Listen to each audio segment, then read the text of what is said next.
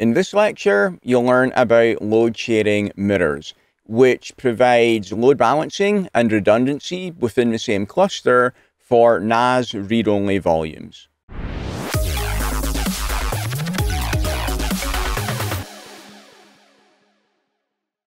Load sharing mirrors are mirror copies of FlexVol NAS volumes. They provide redundancy and load balancing within the same cluster.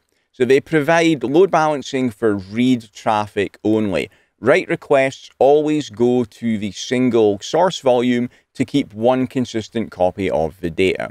Load sharing mirrors are always in the same cluster as the source volume. They provide intra-cluster replication, not inter-cluster replication. So this is a difference between the data protection mirrors. Data protection mirrors can be within the same cluster or between different clusters, and they're most often between different clusters. But load sharing mirrors always within the same cluster. They are automatically mounted into the namespace with the same junction path as the source volume. So the load balancing and redundancy is provided automatically. Read requests will be serviced by the same node which the client connects to if that node has a load sharing mirror. If not, it will be serviced over the cluster interconnect. I'll explain that a bit further when we get to a diagram coming up. All read requests are directed to the load sharing mirror volumes, not the source volume. You should therefore also include a load sharing mirror on the same node where the source volume resides. So that's a little counterintuitive. You would think that you would want the destination volumes on the different nodes in the cluster, but you also want one on the same node as the source volume as well. So where the source volume is, you'll have the source volume and you'll have a destination volume on that same node. And again, the reason is because read requests always go to a load sharing mirror. So if a client connection does hit that node where the source volume is, you want a destination volume there so that it will also service the client read requests rather than not having to go over the cluster interconnect. To make write changes, clients must access the source volume by using the special .admin path. Okay, so let's look and see how this works. So you can see in this diagram, each of these up at the top, let's say that's a single node. So I've got a four node cluster here. The green volume here is the source volume. That is the only writable copy. And then we create a load sharing destination mirror copy of that volume on each one of the nodes, including node 3, which is where the source volume is.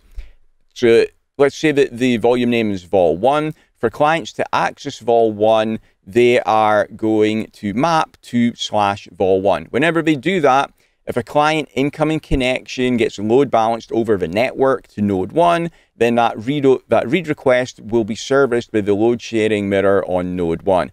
If the read request hits node 2, it will be serviced by the mirror on node 2, and also for node 3 and for node 4 if let's say that we only created three load sharing mirrors, which it is possible to do. Let's say we only created a load sharing mirror on nodes 2, 3, and 4. Well, in that case, if a read request came in for vol1 and it hit node 1, that would have to be serviced by one of the other nodes over the cluster interconnect. And again, it would be serviced by the load sharing mirror. If a read request does hit node 3, even though that is where the source volume is, it is going to be serviced by the load sharing mirror because it is a read request. If a write request comes in for the volume, and to do that, the client has to connect to .admin slash vol1. So when you're using load sharing mirrors, whenever anybody connects to the volume name, say vol1 here, it's always going to default to being a read-only access for the client to be able to write changes to the source volume, they have to map a drive using a different path where they put .admin before the actual volume name. So if a client does connect to this .admin path, that will go to the source volume. If it hits a node other than node 3 in our example, it will go over the cluster interconnect to get to the source volume, and it will be able to write changes there. So you can see from this when using the normal volume name, it's always going to be read-only. So load sharing mirrors are designed for volumes that are really read-only volumes that are very rarely going to have any writes coming to them. Load sharing mirrors support CIFS and NFS version 3 NAS protocols only. They do not support SAN protocol clients. NFS version 4 clients are compatible with load sharing mirror volumes. They'll always be directed to the source volume for both reads and writes rather than load balance to the local mirror copy for reads. So if the client is CIFS or NFS version 3 and it sends in a read request for the volume, it's always going to hit the, lo the local load sharing mirror or go over the cluster interconnector if there isn't one on that node. But if it's an NFS version 4 client, whether it's a read or a write, it's always going to be directed to the source volume. So load sharing mirrors, they're compatible with NFS version 4, but they don't actually provide any benefit for NFS version 4 because clients are always going to use that one source volume. So because of this, don't configure load sharing mirrors for volumes hosting LUNs. It's not compatible with the SAN protocols. You can use load sharing mirrors on volumes that have a mix of both NFS version 3 and NFS version 4 clients. The NFS version 3 clients will get the benefits of the redundancy in the load balancing. The NF4, NFS version 4 clients will not. Don't configure load sharing mirrors on volumes with NFS version 4 clients only because you don't get any benefit from it. And all you're doing is creating mirrors on additional nodes, which is taking up disk space. So you're just wasting disk space for no benefit. Because load sharing mirrors are automatically mounted into the namespace with the same path as the source volume, they provide redundancy with no administrator intervention required. They work immediately as soon as you configure them. You don't have to do anything else. If the source volume becomes temporarily unavailable, read access to the volume is still provided through the load sharing mirror volumes. So if you didn't have load sharing mirrors, you just had that one copy of the source volume and you went down, obviously it wouldn't be available anymore. By having the load sharing mirrors, if the source volume does go down, clients still get access to that volume.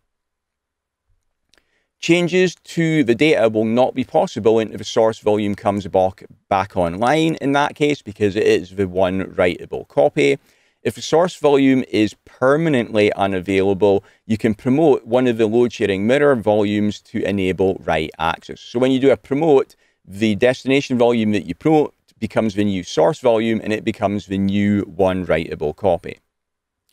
So that uses the SnapMirror promote command. It performs a failover of the source read write volume to a destination volume. It's specific to load sharing mirrors. We use different commands for our data protection mirrors. We'll get to those in a later lecture in this section changes to the destination volume, uh, changes the destination volume to the new source volume when you use that SnapMirror promote command. The new source volume assumes the identity and load sharing mirror relationships of the original. So you don't need to set up the SnapMirror replication again. That happens automatically when you use the SnapMirror promote command. Client write accesses are redirected from the original source volume to the promoted destination volume and the original source volume is destroyed. So because the original source volume is destroyed, if that node is still there, you're going to want to create a new load sharing mirror destination to replace the one that was just promoted.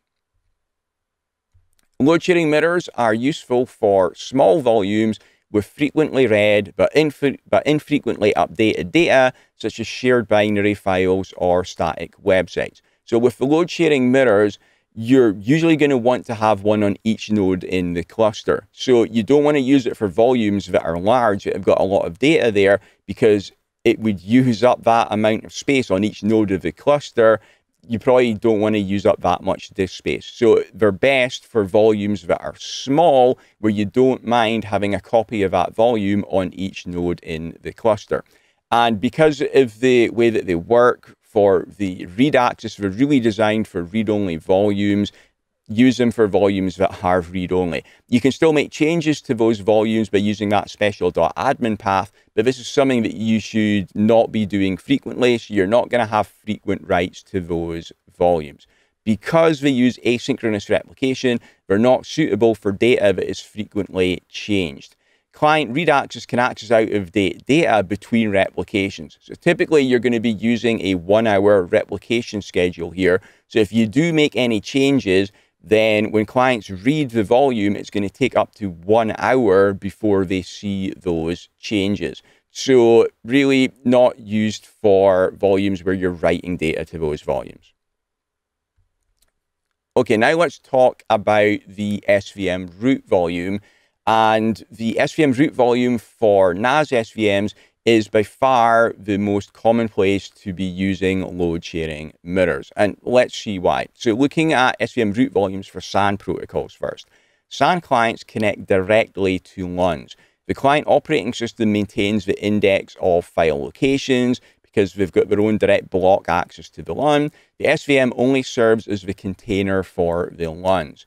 SAN client connections, that's Fiber Channel, FCOE, iSCSI, do not depend on the SVM root volume. So what this means is if you've got an SVM, you're always going to have the root volume for that SVM, whether it's serving NAS or SAN protocols or both, say that we've got an SVM, it's got its root volume there, and then in that SVM, we've got a vol, vol1, and there's a LUN in vol1. Well, if the root volume of the SVM goes down, the client can still access its LUN. It does not depend on the root volume being up to be able to access its LUN. It's different for NAS protocols. So with NAS protocols, the clients connect to the SVM namespace. And the SVM root volume serves as the root of the namespace, and it maintains a file index for all the NAS data volumes in the SVM. The index is checked when a client accesses data. So using the same example again, but for NAS now, if we've got a NAS SVM, we've got the root volume there, and we've got vol1 in that SVM, well, if the root volume goes down, even if vol1 is still up, clients are not going to be able to make new connections to Vol1. For your NAS protocols, to, for clients to access any volume in the entire SVM, the root volume needs to be available. So it's really important that the root volume is always accessible for our NAS protocols. Again, if the node hosting an SVM root volume goes down, the NAS clients lose access to all volumes in the SVM, not just the root volume. So for that reason, it's best practice to create a load sharing mirror for each NAS SVM root volume on each node of the cluster. That gives you the redundancy. It also provides load balancing for the access as well.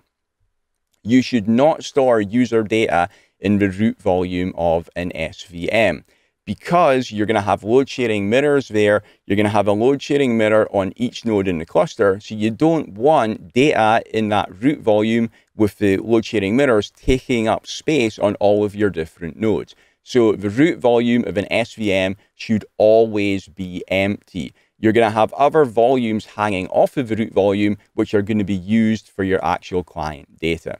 The root volume of the SVM should be used as the entry to the namespace for junction paths only. User data should be stored in non-root volumes hanging off of the root volume. Okay, last thing, a one hour replication schedule is recommended for SVM root volumes. There's no data in there, there's never any writes, so they're not changing, so you do not need a frequent schedule. One hour is fine. Client connections are going to be routed to the load sharing mirrors rather than the source volume first, as we explained earlier. And to ensure a direct path is used, create a load sharing mirror on every node, including the node where the source volume is located. Thanks for watching. If you want to get hands-on practice with NetApp storage for free on your laptop, then you can download my free ebook, which you can see above my head right now. Also check out my NetApp Storage Complete course, which will teach you everything you could possibly want to know about ONTAP. Thanks.